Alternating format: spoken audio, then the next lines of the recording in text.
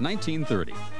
It was the year Garbo talked, the year Albert Einstein came to America, and the year Richard Drew changed our lives with something that's really stuck around.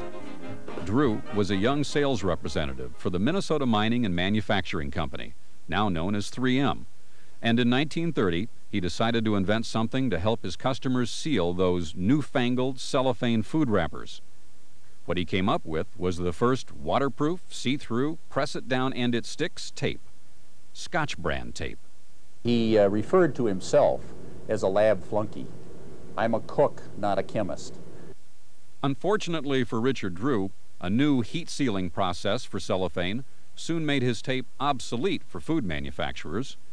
But by then, the Great Depression had begun, and we Americans found that Drew's tape could prolong the useful lives of many other things.